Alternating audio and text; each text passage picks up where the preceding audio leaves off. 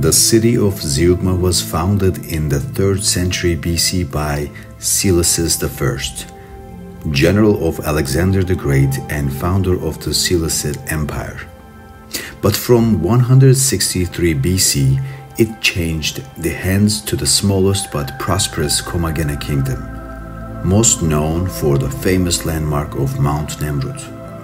Then, during the Commagene kingdom, Zeugma was ceded to the Roman Empire. It was strategically located by a bridge across the Euphrates River.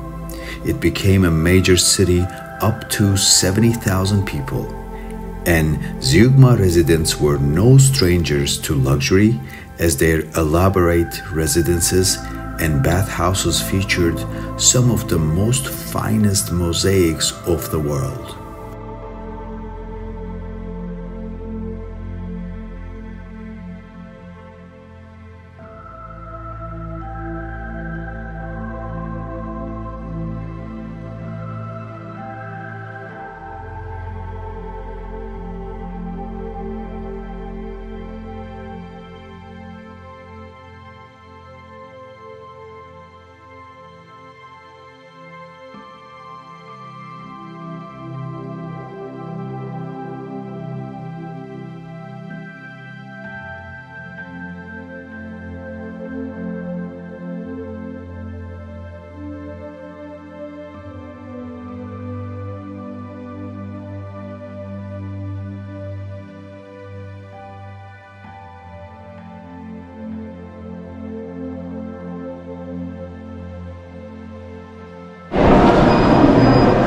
What's up everybody? Welcome to my channel again. And right now it's a very historic moment in my life because today I'm here at the world's most magnificent mosaic museum. So, so in 2000 uh, in Gaziantep when there were uh, archaeological researchers they figured out the mosaic uh, flooring and mosaic coverings in Gaziantep region and then they realized the the findings were even more and more deeper and more complex than it was. So let me show you one of the findings of it. Look at this beautiful details and this is exactly the real one. So you can see the details of the mosaic. It's absolutely stunning. So in the Zeugma antique city, antique civilization, the locals were really into a very lavish lifestyle because in that area where they found these mosaics, they found so much, so much details on this. As of now, I'm in front of Oceania and the god of, uh, let me, Tethys. So Okeanos and Tethys is right here in front of us, pictured as a mosaic approximately 2,500 years ago. So I'm looking, actually 2,300 years ago, this mosaic was laid on the walls of Zeugma city. And Okeanos is the god of the oceans, and Tethys is the god of the fertility, and this is the the wall of one of the villas when they built. And when you come to this one, you see another masterpiece. As you see, the king uh, is pouring the akratos. Akratos is pouring a wine to his beloved wife, Euphrosyne. Euphrosyne. So you can see, look at the, come look at this, this details. And here is their name written right next to it. And he is pouring wine on, on the beautiful clay pot. And, and when we come towards the center of the museum, we can see uh, each rooms of the times houses and look at the the frescoes uh, so these frescoes were with uh, you know were painted with the basically vegetation paints, vegetation colors, animal bloods, and stuff. And as you see, it still stays until today with its magnificent beauty. Isn't it awesome?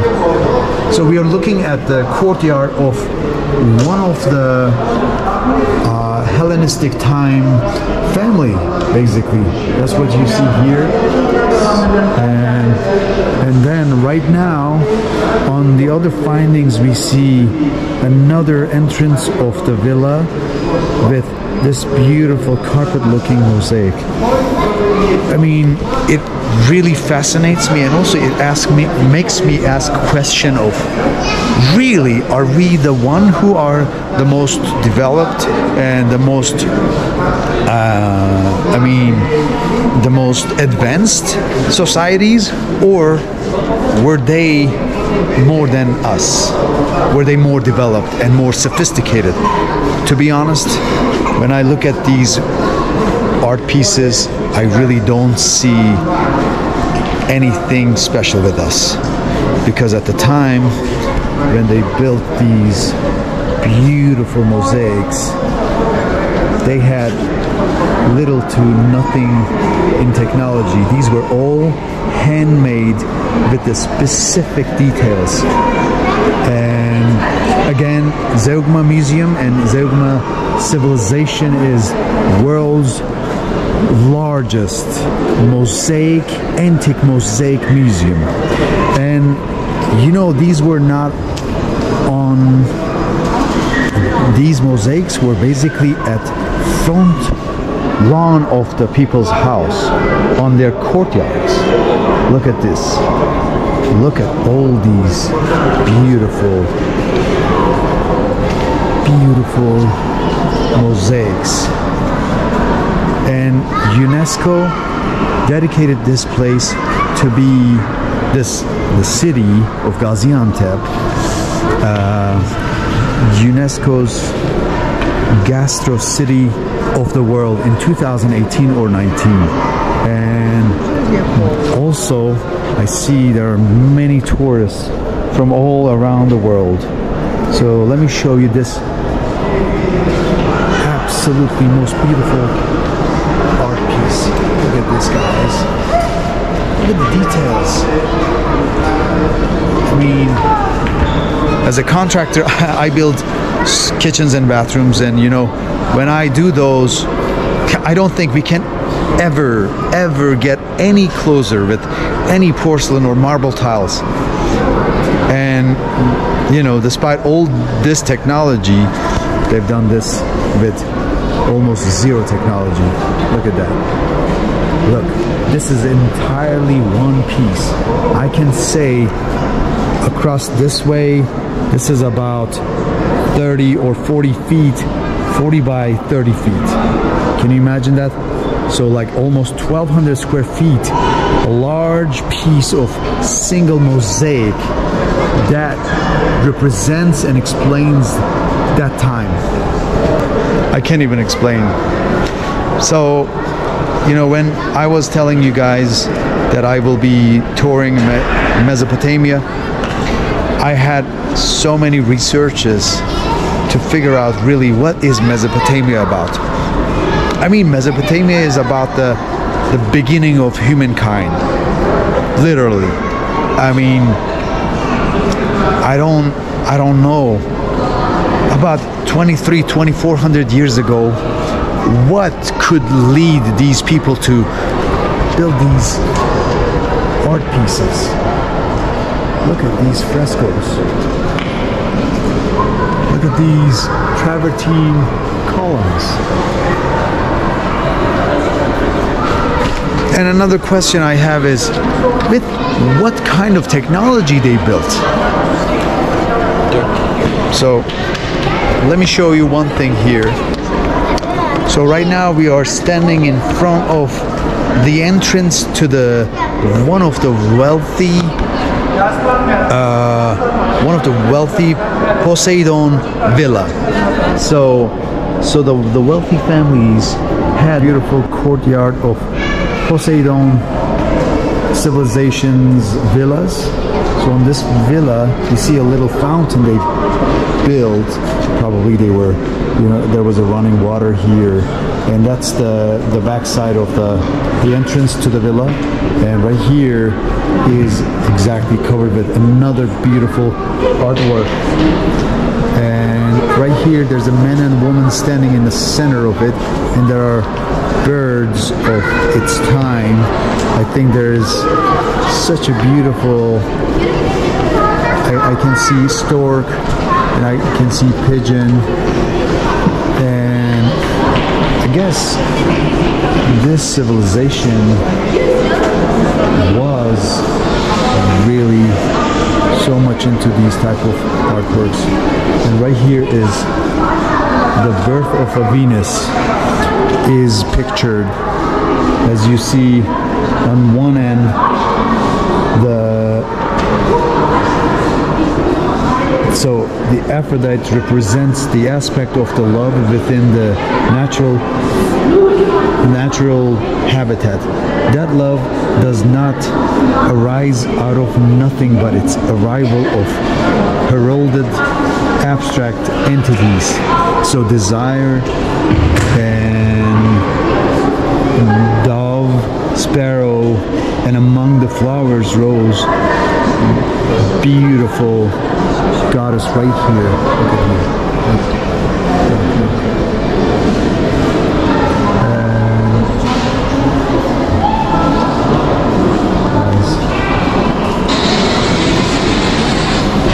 So this is another mosaic that represents the third century BC, and then there are the god of Eros and Psyche is represented on the on the mosaic.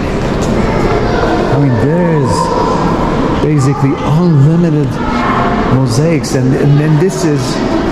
So when I was at the entrance, I asked the gentleman they said this is basically 5% of the findings from the archaeological excavations. So imagine how much more is under the ground right now. So this is another beautiful wall mural, wall mosaic that is representing Metiochus and Parthenope, Parthenope, Parthenope. Uh, guys, Swear the words are not enough to explain how I feel.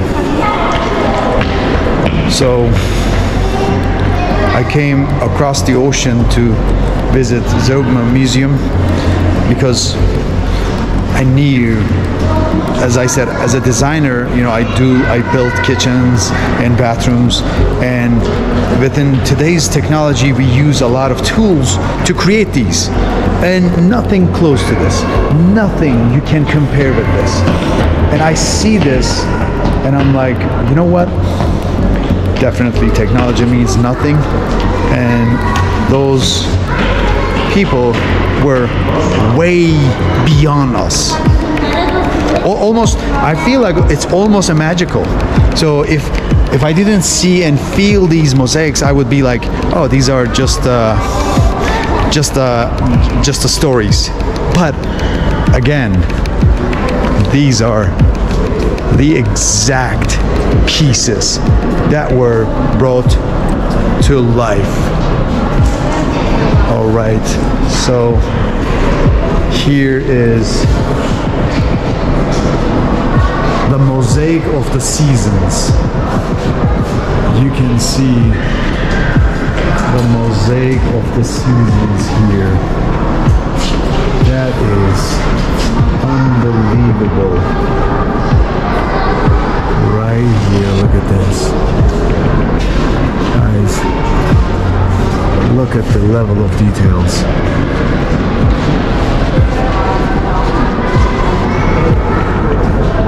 Well, let's see what's upstairs.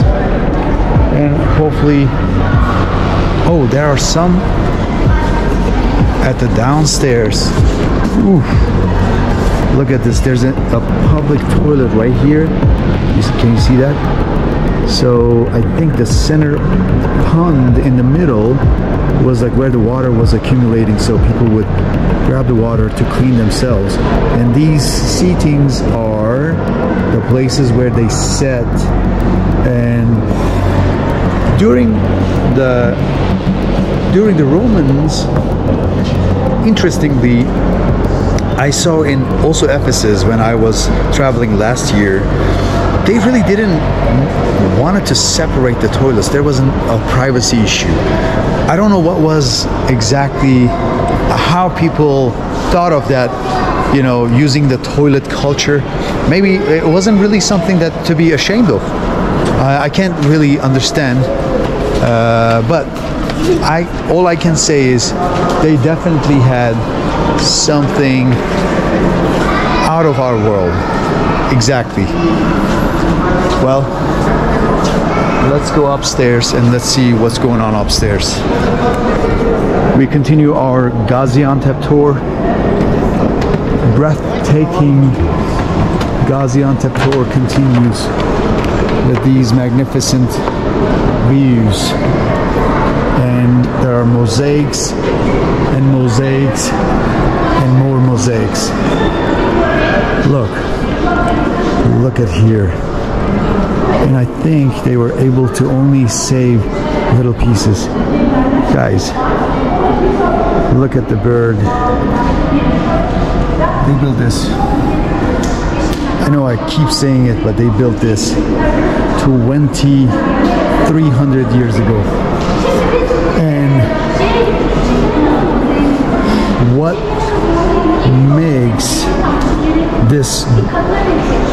Zeugma Museum the most famous is this particular one.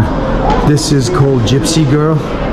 And Gypsy Girl mosaic is one of the most unique piece because in whatever angle you look to the eyes of the gypsy girl it really follows you. And again, we don't know what was really, how did they even know how to characterize that? So these are the unknown questions that I ask myself, but probably archaeologists know all the answers well, guys, this is the end of the museum and I really appreciate for you guys watching, subscribing, liking my videos. And this was the first uh, first stop of my Mesopotamia tour, which was Gaziantep. And now we are done with Gaziantep and our next stop will be in the Mount of Nemrut, which is where the gods' statues are situated on top of the mountain. So hopefully we will cover all that on the next episode. So stay tuned and sub subscribe and comment or like my videos because really I would like to show you exactly every single details that I am witnessing with my own eyes. Thank you guys. I'll see you guys later. And also I want to point out one thing that I saw at the beginning of the this beautiful museum. There's a little boy in a little coffin. So I guess back then it represented the the the you know basically it was like a little baby baby uh, graveyard. And on this graveyard I see the baby is holding two things on his left and right hands. Let me show you. As you see a little baby is holding in a coffin on one end pistachio. On the other end, pigeon. So pigeon represents the peace, and pistachio is, as you know, is one of the most famous crop of this region. So I think it's easy to say even 2003 or 400 years ago pistachio was still one of the most important commodity in this region. So things didn't change much from then to now